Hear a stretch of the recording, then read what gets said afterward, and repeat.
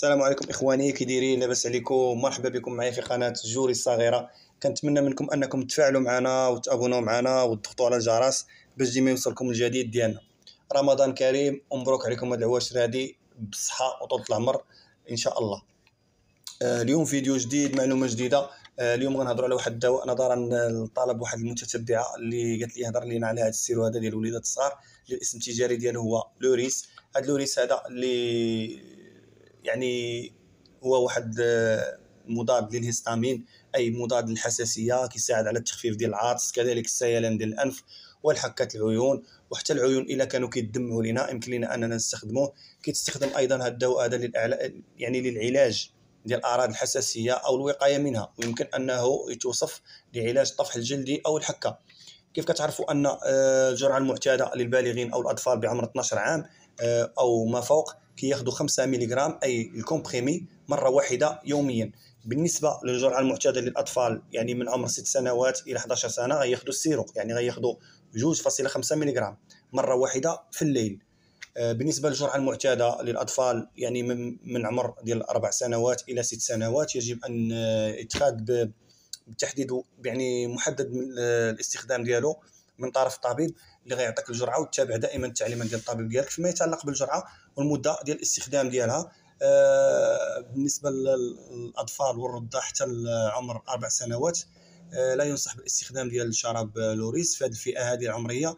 غالبا كيوصفوا الطبيب يعني مضاد لحساسية أخرى وكيكون هو أكثر أمان ولكن آه، من الممكن أن يوصفه الطبيب في هذا يعني هذا الدواء هذا للرضع والأطفال حتى العمر أربع سنوات في حالات معينة.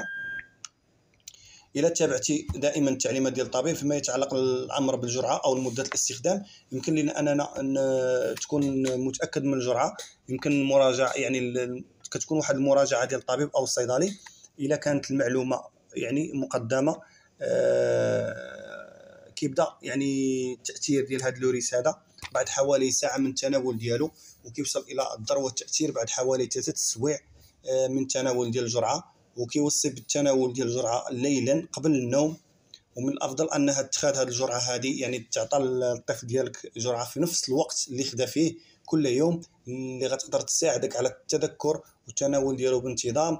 ويمكن أن أيضا تناول جرعة مع طعام أو بدون طعام يعني من بعد الأكل أو قبل الأكل. ولكن عليك أن تختار اذا كنت تأخذه يعني تعطيه اللي تعطيه الجرعة ديالو مع الطعام أو بدون طعام. ثم يعني تناولها في نفس الطريقة يعني كل يوم آه، اللي باش الجسم ديالو يتأكد ويمتص نفس الكمية آه، يوميا ديال الدواء كل يوم. بالنسبة لهذا الشراب لوريس امن للأطفال والرضع كيف كتعرفوا أنه خيار يعني علاج آمن للحالات الحساسية والأنفية والجلدية لدى الأطفال الصغار من عمر 6 أشهر إلى 12 عام. من الفئات العمرية أقل من أربع سنوات يجب تحديد الجرعة ومده العلاج على أساس آه، شدة الحالة والوزن ديال الطفل ديالنا. ومده الاستجابة ديال الجرعة كتكون معتادة لهذه الفئة العمرية اللي هي من واحد يعني من واحد إلى جوج فاصلة خمسة ملي يعني مرة واحدة يوميا من الليل لليل وكتوصف من طرف الأطباء في كثير آه، في الأحيان لأن هذا اللوريس هذا كيخفف الأعراض ديال الالتهابات الأنفي والتحسسي وكذلك الالتهابات ديال الممرات الأنفية الناجمة على الحساسية على سبيل المثال كيف كنقولوا حمى القش أو الحمى ديال الغبار آه، أو الحالات الجلدية الناجمة على عن الحساسيه مع أعراض تشمل كتكون فيها حكة أو طفح جلدي. آه، فلهذا هذا اللوريس هذا راه زوين وفعال. بالنسبة للوريس واش كيسبب لنا النعاس ولا لا؟ بالنسبة لهذا اللوريس هذا عادة النعاس عند الاستخدام ديالو بالجرعة الموصى يعني مع ذلك فإن حوالي 3% من المستخدمين ديال هذا الدواء هذا كيقدروا يعانوا من انخفاض القدرة على التركيز والنعاس والخمول يعني الخمول وردود الفعل كتكون بطيئة. لذلك يجب على المستخدم البالغ عدم قيادة عدم قيادة السيارة أو استخدام آلات أو القيام بأي نشاط يتطلب اليقظة حتى يتأكد من أن من هاد القيام اللي غيقوم به الأنشطة يكون آمن. ويجب مراقبة الأطفال اللي كيستخدموا هذا الدواء هذا عن يعني عن عن كتب خاصة أثناء ممارسة الأنشطة اللي كتطلب اليقظة مثل ركوب دراجات أو تسلق الأشجار أو اللعب في مناطق آه، يعني مفتوحة للأطفال. آه، بالنسبة لهذا اللوريس هذا واش كيحتوي على الكورتيزون ولا لا؟ اللي هي هذا الكورتيزون يعني لوريس ما كيحتويش على المشتقات ديال الكورتيزون لأن هي واحد الأدوية صناعية لها تأثير مماثل اللي كتأثر لنا على الهرمون ديال الكورتيزون اللي اللي كيقدر يفرز لنا واحد الغدة آه، كظرية من المعروف أن الأدوية هذه لها واحد التاثير جانبي خطير عند الاستخدام ديالها بجرعه عالية أو لفترة طويلة من الزمن وكيحتوي هذا اللوريس هذا على شراب يعني شراب على ماده فعاله آه، اللي كتنتمي على فئة من الأدوية اللي كتسمى بمضاد الهستامين واللي كتنتمي لواحد الأدوية اللي يمكن أنها تستخدم بأمان عند الرضيع والأطفال دون أي مخاوف. آه، بالنسبة لهذا اللوريس هذا واش كيخفف لنا السعال ولا لا؟ هذا اللوريس هذا يعني لا يعالج السعال ولكن كيوقف النوبات ديال السعال. إذا كان الالتهاب الانفي التحسسي الموسمي كيقدر يترافق مع النوبات ديال السعال التحسسي نتيجة تقاطرات إفرازات يعني الإفرازات ديال الأنف في الحلق مثل مثلا في الحالات ديال يقدر يكون شراب لوريس مفيد. في التخفيف ديال السعال الناتج عن الالتهابات الأنفية وكذلك التحسسيه لأنه سوف يساعدك يعني غيساعدك في التقليل ديال الأعراض الحساسية. بالنسبة لهاد لوريس هذا واش يمكن أننا نستخدموه في البرد ولا لا؟ آه يعني هو من أفضل العلاج نزله البرد لوريس شراب مضاد للهستامين سوف يساعدك في التخفيف ديال العطس والسيلان ولا كان الأنف ديالك مسدود ولا كانت شي حكة في العيون أو ولا كانت العيون كدمع عليك. ولا كان شي طفح جلدي أو حكه أو غيرها من الأعراض. وكذلك حتى النزلات ديال البرد. ويمكن يفضل أن الاستخدام ديال الأدوية اللي كتحتوي على مد على على مزيج من مضادات الهستامين مع مزايا ديال يعني كيكون مزيل الاختناق لأن التأثير ديالو في التخفيف اعراض نزلات البرد آه، غادي يكون أفضل من استخدام الأدوية اللي كتحتوي على مضادات الهستامين فقط ننصحك يعني كنصحك أنك تسول الصيدلي اللي كيكون آه، كتكون مستحضرات مضادة للإنفلونزا. بالنسبة للوريس واش كيخفف ضيق ديال التنفس؟ يعني لوريس ما مخصصش للتخفيف يعني شي تخفيف سريع من الضيق ديال التنفس.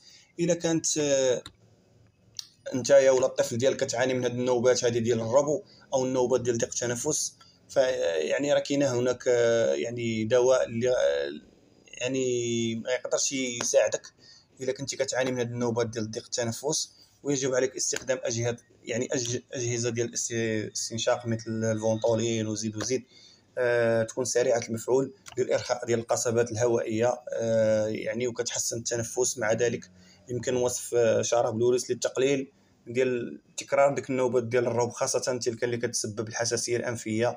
ويمكن أنها توصف هذا الدواء هذا لمنع نوبات الربو أثناء ممارسة الرياضة. هذا اللوريس هذا واش كيزيد في الوزن ولا لا؟ بالنسبة لهذا اللوريس هذا ما كيزيدش في الوزن يعني شراب آه، دواء مضاد للحساسية غالبا ما كيتم الوصف ديالو لمدة كتراوح ما بين 7 أيام إلى 14 يوم. ورغم ذلك آه، له واحد التاثير يعني فاتح للشهية لأنه من غير المتوقع مع المدة ديال العلاج آه، القصيرة يقدر يكون هناك له واحد التاثير يعني على الوزن الإجمالي. ولكن إذا نصحك الطبيب باستخدام ديال هذا الدواء هذا لفترة طويلة فيجب عليك المراقبة ديال السعرات يعني السعرات الحرارية اللي كتناولها خلال الفترة ديال العلاج ديالك. لازم عليك أنك تجنبها وتجنب أي زيادة محتملة في الوزن. هاد اللوريس هذا واش مناسب للحوامل والمرضعات؟ حاليا ما كاينش دراسة كافية على النساء اللي كتحدد يعني كتحدد المخاطر عند الاستخدام ديال هاد اللوريس أثناء الحمل أو أثناء الرضاعة الطبيعية. لذلك يجب عليك دائما الاستشارة ديال الطبيب ديالك اللي غتقدر تقيم الفوائد والمخاطر المحتملة قبل التناول ديال اللوريس وواخا يكون كاع يعني كيتعطى يعني بالنسبة للحوامل ما نقدرش أنا نقول لابد على أن الطبيب هو اللي يكون مشرف على الحالة ديال المرأة الحامل أو المرضع. هو اللي غيقول لها واش تستخدميه ولا ما تستخدميش. إذا كانت المرأة حامل أو مرضع فلا يعني من الاحسن ما تستخدمش الأدوية اللي كتحتوي على مادة ديال الهيستامين اللي يقدر ينصحك بها الطبيب ديالك بخلاف آه، يعني يعني بالخلاف ذلك. وعند الاستخدام ديال هذه الورساله من قبل الأمهات المرضعات بجرعة موصى بها آه، فمن الغير متوقع أن يسبب هذا الدواء هذا أي آثار ضارة على الرضيع. تقدر آه، تجر الإشارة إلى أن يعني الاستخدام يعني أن الطبيب هو اللي يكون مشرف على الجرعة بأقل جرعة يعني فعاله ممكنة يعني تكون خيار أفضل إذا كانت مضادة للهستامين. وكيف كنقول أنا بالنسبة للمرأة المرضعة والمرأة الحامل لابد عليهم أنهم يستشيروا الطبيب ديالهم. أحسن حاجة ليهم. بالنسبة للأعراض ديالو يعني الأعراض الجانبية ديالو الموانع ديالو هي فرط الحساسيه المادة الفعالة ديالو. آه، أعراض جانبية إلا كان شي غثيان أو تقيؤ أو صعوبة الهضم أو إسهال أو هلوسة أو دوخة النعاس الارق آه، الخفقان آه، تسارع معدل ضربات القلب. وكذلك إلا كان شي وجع في البطن أو ألم عضلي أو زيادة في ردة فعل تحسسي. فلهذا هذه كتكون هي الأعراض الجانبية ديالو. بالنسبة هو هذا الفيديو ديال اليوم طولت عليكم شوية. آه، بالنسبة لهذا اللوريس هذا بالنسبة للوليدات ديالنا الثمن ديالو كيدير 24 درهم و50 موجود في جميع الصيدليات. وبالنسبة لل comprimé ديالو راه كيدير 73 درهم نظرا راه نقصوا في الثمن ديالو. المهم آه، هذا هو الفيديو ديال اليوم. كنتمنى أنني ما نكونش طولت عليكم. آه، بالنسبة للحساسية الموسمية أو الاختناق أو الحكة أو أو المشاكل في الحلق أو فهاد اللوريس هذا راه زوين وفعال يمكن لكم أنكم تستعملوه وراه غتلقاو عليه تحسن إن شاء الله. وكنتمنى منكم أنكم تفاعلوا معنا وتابونوا معنا وتضغطوا على الجرس باش ديما يوصلكم الجديد ديالنا وإلى فيديو آخر إن شاء الله. وتبارك الله عليكم وشكرا. وشكرا.